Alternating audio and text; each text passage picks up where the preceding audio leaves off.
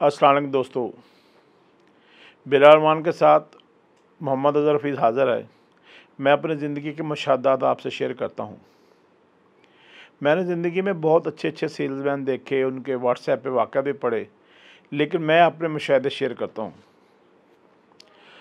छोटे होते थे, नौवीं, दसवीं में पढ़ते थे तो हमारी गली में एक जनरल स्टोर है, खालद जनरल स्टोर अब उसका नाम मलक जनरल स्टोर हो गया।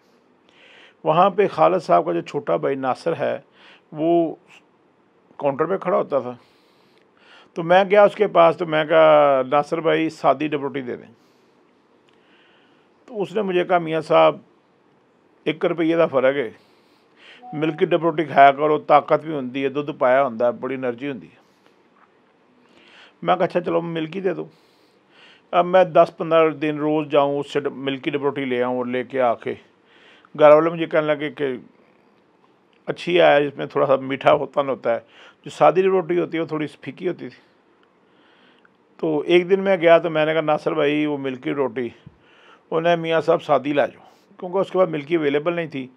तो मैं कहा, नासर भाई, खुद ही कहते हो कि मिल्की। कहता जी, बस मैं आज ही सोचा है, एक रुपये का किन्ने को दुध ਵਿੱਚ पाते होंगे कि जो वो आपके लिए ताकतवर हो जाए।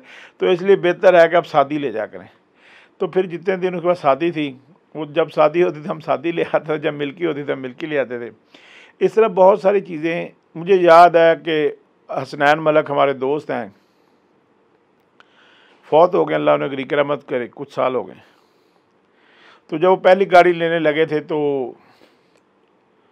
गाड़ी बड़ी बुरी हालत की थी तो मैंने मना किया, मैं कहा, मलक साहब, ये गाड़ी ना लें, इसके फ़र्श गले हुए हैं, बहुत सारी चीज़ें बन गई। तो बीच में हमारे एक साथी हैं गजनफर बरवाना बड़े माशाल्लाह होशियार, चलाक आदमी। तो बरवाना साहब आ गए तो बरवाना साहब ने शरारतन उस बंदे को जो गाड़ी बेचने आया था तो उसे कहने लगे कि जी अगर आप मुझे कुछ पैसे दें तो मैं ये गाड़ी आपकी बिकवा देता हूँ। तो कहने लगा जी मैं किस किस को पैसे दूँ? पहले जो लेके मुझे आया उसको मैंने पाँच हज़ार देने हैं अब आपको पैसे दूँ तो मुझे क्या बचेगा? तो बेड़ी जान दोस्तों के साथ सेल्समैनशिप ना करें। आप आ, हर जगह फ़ायदा लेकर आप क्या करें? अभी कल ही मेरी किसी से बात हो रही थी, उन्होंने कहा, जी, मिलके ही कारोबार कर लेते हैं।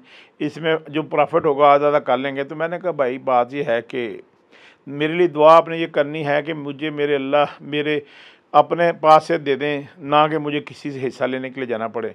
शुक्र अलहमदिल्ला अच्छी ज़िंदगी गुजर रही है। सेल्समैनशिप हम देखते रहते हैं और, मुख्तलिफ़ जगहों पर जाते हैं। कुछ बेचारों को समझ नहीं आती, स्पेशली जब गाड़ी साइड पे लगा किसी मेहमान को रिसीव करने जाते हैं तो वो टैक्सियों वाले और रक्षों वाले बेचारे शोर करना शुरू करते हैं। तो अब उसमें भी एक नई जहद जो है वो आ गई है, नई नस्ल आ गई वो है बाइकिया वाली, कि वो पहले तो दो चार ही दिन को खवाते थे।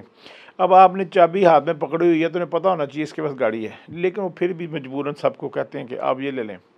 इसी तरह जो प्रॉपर्टी वाले हैं तो वो हमारा एक बच्चा है, बरखुरदार है तो उसे ना हमने प्रॉपर्टी के काम में लगा दिया।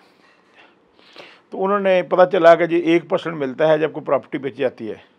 तो उसकी जो फुफ्फो हैं, वो बेचारी बेवा हैं, ख़तून है, वो मेरी भी बहन है।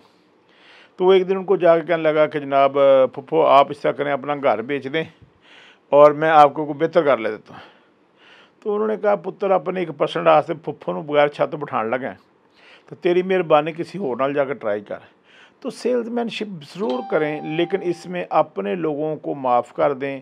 सारी दुनिया पड़ी हुई है बेचने के लिए, ख़रीदने के लिए, लेकिन ये सौदे अपने लोगों को ना बेचें तो आपके लिए बहुत बेहतर होगा। लेकिन हमारे लोग बाज नहीं आते, फिर ट्राई करते हैं।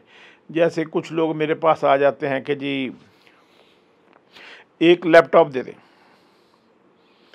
यार कोई पुराना जो तेरे को डी एस एल आर पे ना वो कैमरा जरा ना वो मेरे बच्चे दे दो हालाँकि मैंने ज़िंदगी में कभी किसी से कोई डी एस एल आर लेने की या कोशिश नहीं की, लेकिन पता नहीं कैसे लोग जो है वो आके इस तरह की दरख्वास्त करते हैं, क्योंकि डी एस एल आर दुकानों से मिलते हैं, लोगों से नहीं मिलते।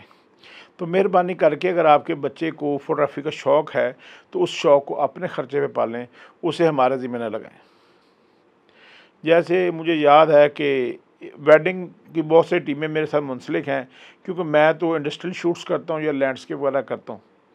तो वो लोग मेरा नाम इस्तेमाल करते हैं और ले लेते हैं काम। तो वो एक ना साहब के बेटे की शादी थी।